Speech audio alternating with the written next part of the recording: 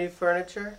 I just made it yesterday out of some out of some albizia logs that were sitting in the back for about a year. I just discovered them and made some mm-hmm. cool furniture. It smells great. So,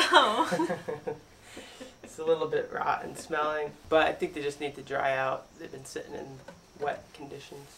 So sorry guys, we haven't been on YouTube for a while. Paulina's been really busy. You've been Um, really busy. I've been really busy. Thanks to you guys, I'm getting a lot of work, making more orchards. and Paulina's family was here. We had a good time with them. They were here for a week, so really didn't have time to make a video with that. And Paulina was also gone for a week, two weeks. You were, Yeah. yeah. Oh yeah. Paulina was gone to the mainland for a visit, and to visit her sister too Mhm. in Colorado. So, in this video, we're going to continue our little series about starting up a fruit orchard. Um, kind of like a follow up to that video we made about Rose's orchard. So, this is the part two of that video. So, in this one, we're going to focus on specifically on questions concerning ripping the land and on just startup costs to start the orchard. So, let's get into the video. All right, so first thing, what is ripping? Actually, good question. This is a term that most people that have never been to Hawaii or don't know anything about Hawaii, specifically Big Island, probably never heard the term ripping unless you've been doing a lot of research.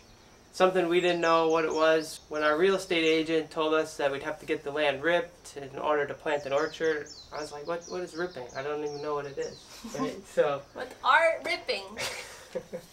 So ripping refers to ripping up the lava. Yeah, it's pretty just straightforward.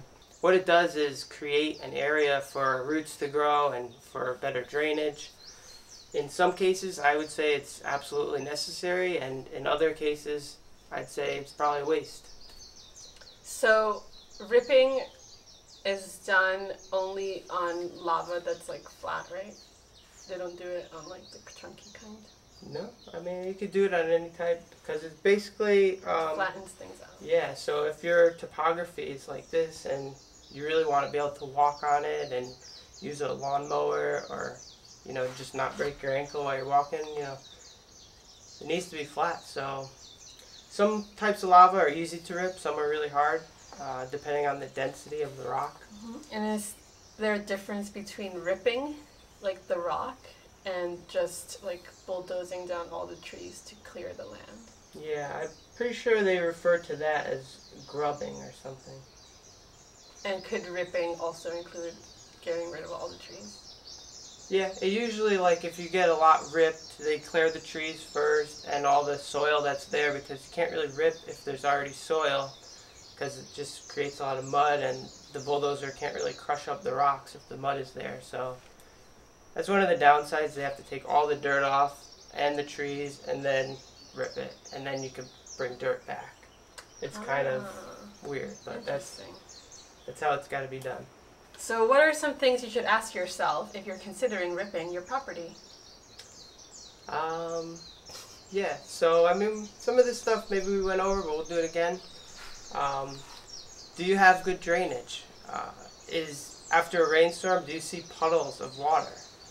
That's a good sign that you don't have good drainage, and ripping might be necessary because if you were to plant a tree there uh, after a big rain storm or a week or month of rain and your plants are underwater, they're most likely going to die. Some will survive, you know, maybe bananas because they like water, you know, but things like avocado cannot stand being sunk underwater for more than a day. So it's pretty necessary. If you have pooled water on your property, then you probably need to get ripped.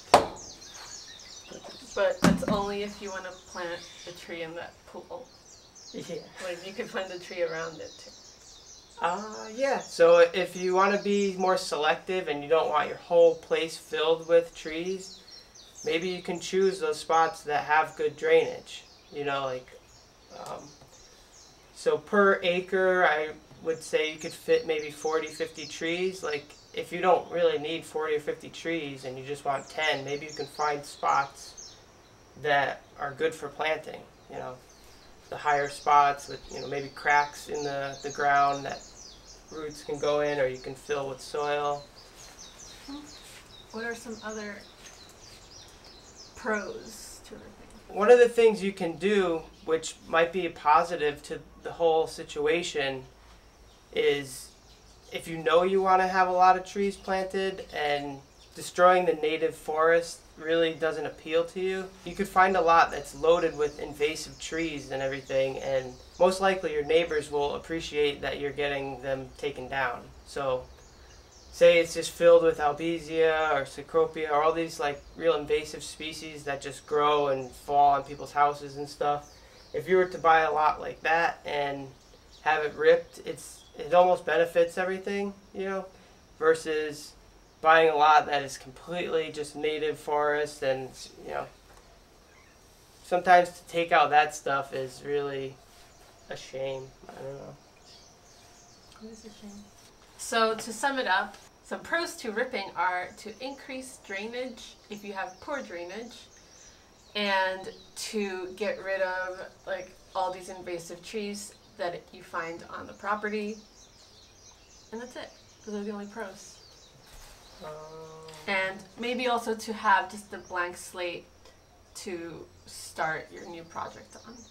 Yeah, and also I would include like um, ease of like walking. You know, it's going to be a lot easier to walk if the land is completely flat, which uh, ripping can really help flatten it, and then you put it, bring in like cinder and stuff, and make it so eventually one day you could use like a push mower if that's what you want to do. Otherwise, um, I mean, even here I can't use a push mower, and it's been ripped but it wasn't really smoothed out with uh, cinder like you probably should do if you want to push a mower. Michael wants to push a over so Yeah. badly. So I have to level things out here a little bit with some cinder. So Paulina's gonna cover some of the pros of not ripping. Okay, yeah, so if you guys watched our last video um, on Eddie's property, he didn't rip it. And he was a great example of how good it is to not rip because you are preserving all the natural trees that are already there, a lot of the native trees that are there, and also just the natural topography of the land. So lava is really cool. Like when it flows, it forms all these like very unique features Yeah. um, that's that can be very like obviously unique to your own place. Um, and it's kind of special, like the way that it forms in one spot can never be replicated anywhere else. So um, not only just lava, but it does form like really cool things like tree molds or like even like natural staircases. Like it's really really nice. So if you're able to put in the work to work around that, um, you can be left with like a really aesthetically pleasing place and also like a very just like natural place that you feel like you're you're not like asserting your dominance over and like the land is kind of like helping you or you're just working with the land and not dominating it. Yeah, I'd just like to add that if you do it that way and you preserve some of these uh, flows of lava and stuff, it's very unique to Big Island. You know, if you were to rip it and just plant, you could look at the orchard and I mean it could exist anywhere in the world. But if you leave some of these natural lava formations, like uh, Paulina was saying, like there's pahoehoe, like rope flows that like really it's cool. Look like rope. There's tree molds. There's cracks. There's natural staircases. I hate to just say everything. You just said everything I just said. But it's really cool to preserve that because it's so unique to this place. Yeah, to, to sum it up, um, lava is very special to the Big Island, and if you want to have authentic Big Island land here in Puna, then you would preserve all that lava the way it is. So, what are some other pros to not ripping the land? So one of the things I'm really starting to find out is that wind can be a serious problem here. And when you rip a big portion of land, it really creates a lot of open space for wind to come in and just rip leaves off of trees, especially ones that have been in nurseries for a long time. They're not uh, as well adapted to the wind, so you put them out there and just the uh, leaves will just blow and just eventually come off the tree. And you know, I think they'll come back and they'll be stronger when they do because they'll adapt to the wind. But that could be really shocking for a tree to like just be put in this situation where all of a sudden it's just out in the open, full sun, and like full exposure to wind. So by not ripping, you can save some of the trees for wind and some shade protection, um, Mhm. which really could be beneficial when you're starting out with new trees. So another benefit to not having a machine bulldoze the whole property and instead doing the hand clearing um, with just like hand tools and stuff is that you can kind of select what you uh, keep there, like pick and choose, and you preserve a lot of the natural ground cover that's already on the ground. Yeah. And if you're going through and just clearing, you know, say six feet of brush and ferns and stuff, going through with a weed whacker and just pretty much, it's just like an emulsifier and you create a mulch layer by doing that. Versus like if you were to get it ripped, I mean, you guys see what, what it looks like after it gets ripped. it looks like the moon pretty much. It's just like rock and there's no no life there. No life is left. So like you have, pretty much have to start fresh when you get ripped, versus like going through by hand and using weed whacker.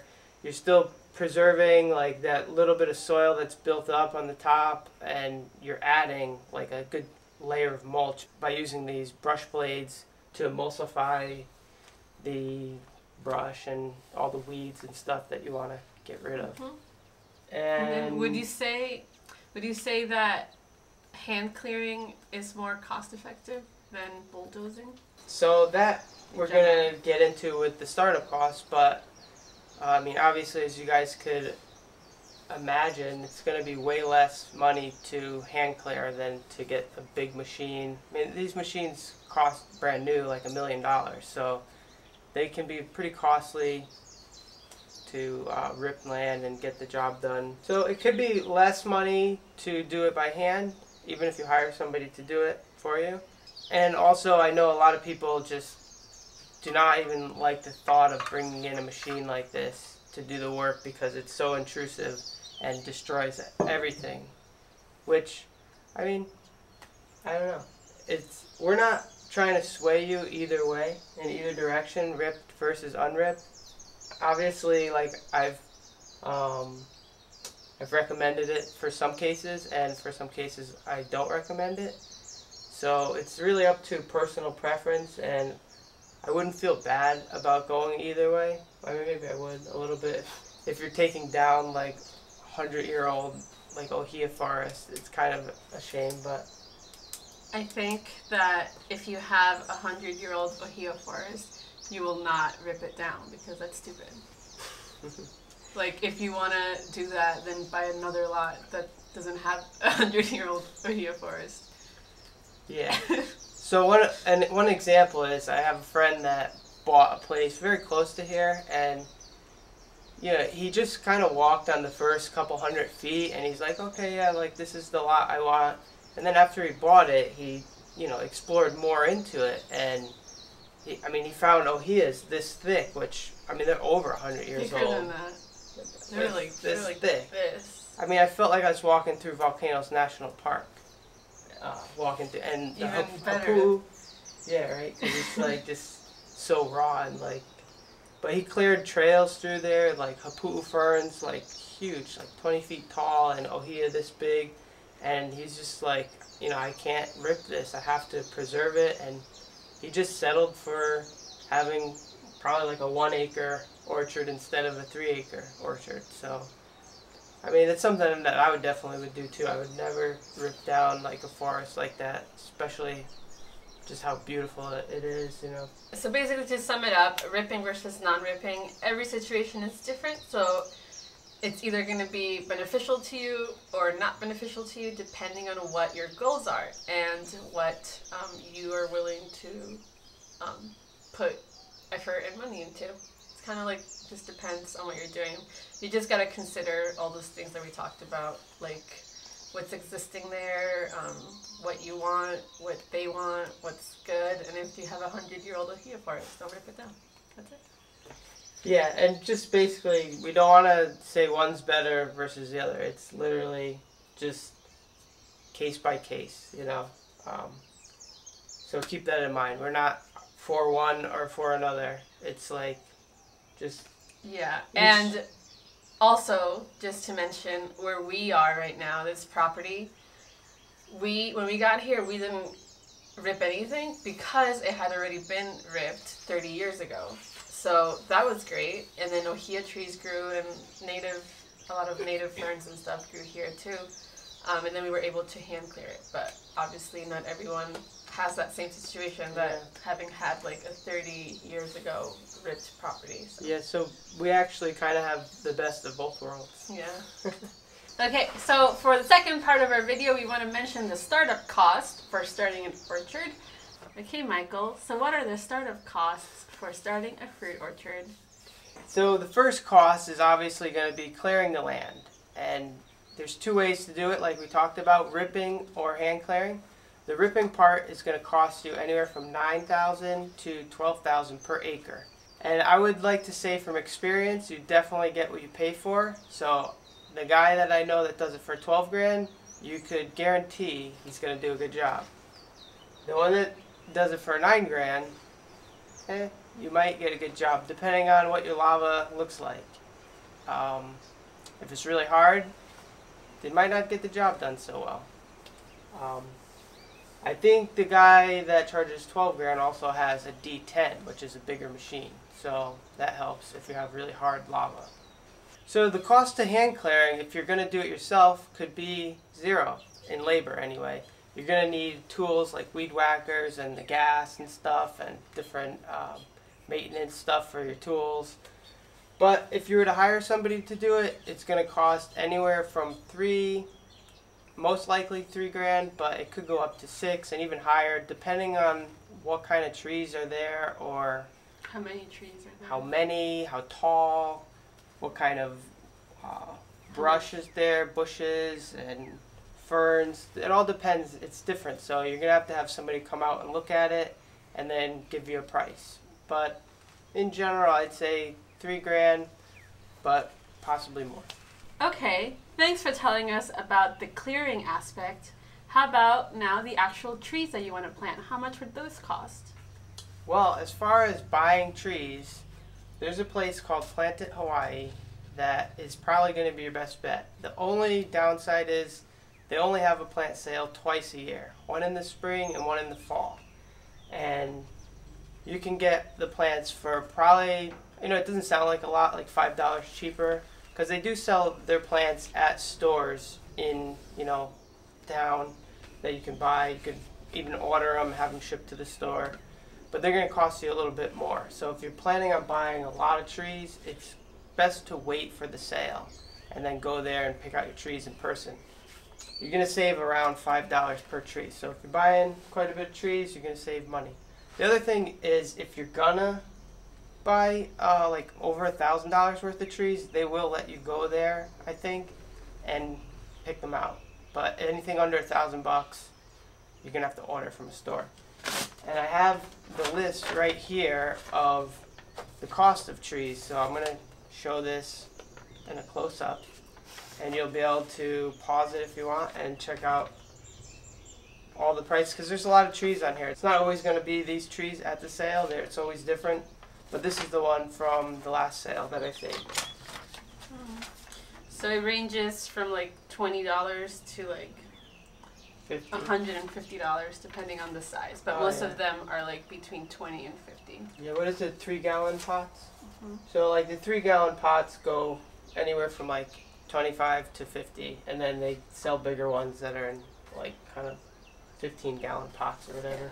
The more expensive ones are the like really good quality grafted trees that are Yeah. bigger.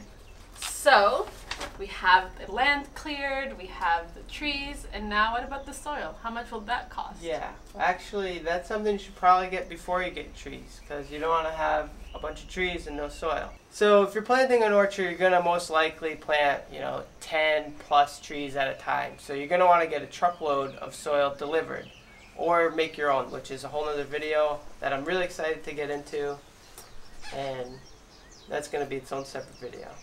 But I'll show you how to make soil or how I make soil. But if you just want to get it delivered and shovel it and put it into the place where the tree is going to be, it's going to cost you around 325 for six yards, and that is going to be enough soil for about 10 trees. So $325 for six yards, which plants 10 trees, which comes to roughly about $32 per tree.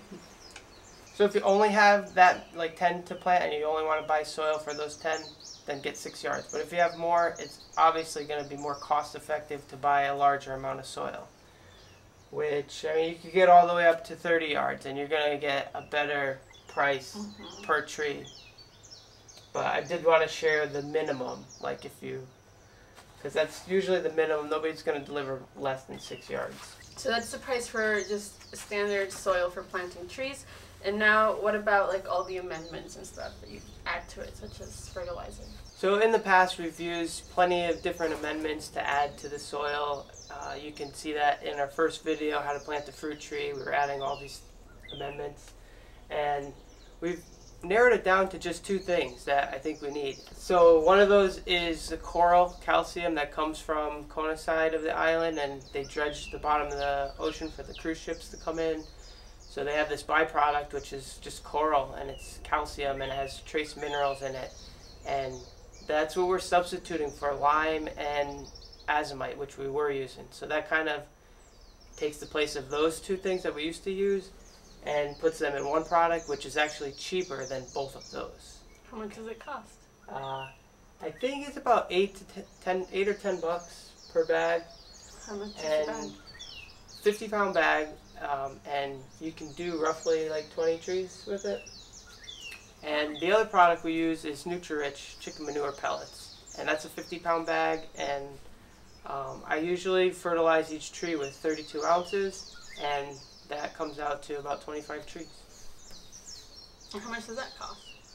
And that bag costs, I think if you get it on sale, it's like 16, 17 bucks. So these products are really cheap, and we're finding out that that's all you need, and it's working for us. So then you have the soil, you have some fertilizer, and calcium. What else would you add to plant the trees? So another really good product to have on the land when you're starting your orchard and stuff is black cinder, and it's very versatile. You can obviously, if you have ripped your land and it's not even, you can use it for trails. Um, if you have native soil there that is too muddy, you can mix it with that. And you can also make your own compost and mix it with that. So that's actually what I'm going to go over with How to make soil video? in the how to make how I make my soil video is how I mix the black cinder with the compost to make like really good soil. So how much does the black cinder cost? The black cinder you're gonna get 32 yards, and the delivery fees are gonna be always different depending on where you are, and it's around 650 for 32 yards from Sanford. If you go to Puna Rock, they're going to charge you $50 a ton, and that's because they get it from Sanford. So Sanford brings it there, and um, you know they sell it for a little bit more. But if you just want to go fill up your truck, it's probably a good option if you're close to there. It was actually I filled my truck for forty dollars, and that was less than a ton. All right. So the last thing would be just the mulch, and you would need that to for planting the trees and even to just use on the property for uh, ground cover. So the last cost on our list, which there's probably plenty of more things that we didn't think of, but we're trying to stick to the most important ones. And I guess we probably saved one of the most important for last, and that's the mulch. You can get it for free at The East Hawaii Organics facility, which ah. is located right behind the dump at in Hilo, kind of like back airport. Yeah, so I just talked to Marvin, and they're gonna start charging to load the mulch. You can still load it for free with the pitchfork if you want. So anybody with a car is really not gonna notice. Yeah, I know people go there with cars and vans and load it in totes and stuff. Um, but if you want the machine to load your truck, they're gonna be charging, I think, seven bucks uh, scoop, and. But this may sound like a bad thing, but I think it's actually a really good thing because they're not going to limit the quantity you can take. So right now they limit it to 10 yards. So for the trucks that can hold 32 yards or you know whatever, they can only leave with 10 yards, which is kind of a waste. So in the future, I'm not sure when this is going into effect, but they're going to be charging seven bucks and you know times that by five so 35 bucks. So that's just going to be only 30 bu- 35 bucks added to whatever the delivery cost is. So I don't know. At the most, you're going to pay like I think 200 bucks for 30 yards, but that's in the future. Right now, it's you're only getting 10 yards for say like 150 bucks, which is what I think most people charge, depending on where you live though. That's it. Is it every is everything clear? So I got a couple of video ideas in mind, and maybe if you guys vote on them or tell me which ones you'd like to see first, I will, you know, I might do that one first. If it's kind of like even, I probably just get to the one that I'm most interested in first. And talking about one of them is how I make soil. Uh, another one that I want to make is actually a question I got from somebody, and it's like, what tools do you use? So I want to talk about all the tools that I use doing farm work. And another one is everything you need to know about cassava. And this is one I feel comfortable making now because the roots that we're getting from our cassava, they're like the radius of the root mass is like this big, and each one is like this big, maybe this long. And they're very tasty. We're getting like 20 pounds from each plant, which is more than we can eat. So I end up bringing it to people and kind of we make it, but then we save it for a couple days. And then they get tired of it, and they're like, "Michael, stop bringing us cassava." I know. We're just like I have to come up with different recipes so to make it like new. Yeah, no, but it's really, really yummy. So those are the three video ideas I have for future videos. Please let me know which one you guys want to see first, and if it's overwhelmingly in favor of one of them, I might make that one first. Keyword might. Alright, see you guys next year with our next video. No, hopefully sooner. Um, this channel may be taking a new direction. I talked to Eddie and he liked my idea of maybe taking the show on the road and showing you guys different orchards that we're starting and planting. Uh, I'm not sure how the episodes will be, but since Paulina is so busy with work, they even told her she cannot. Cruise ship season, baby. She can't request days off in April. So Shame. there's a good chance that she'll never even be home in April, just working. yeah, guys, so I am working a lot and I'm really tired. And Michael and Eddie want to start making videos together, so I think that's going to be awesome. And I'll be here to help out as much as I can, but today was like my only day off in the past like three weeks or something. So yeah. Alright, so bye. Bye. Thanks for watching. If you have any questions, pop them down in the comments below, and I'll get to you when I read them.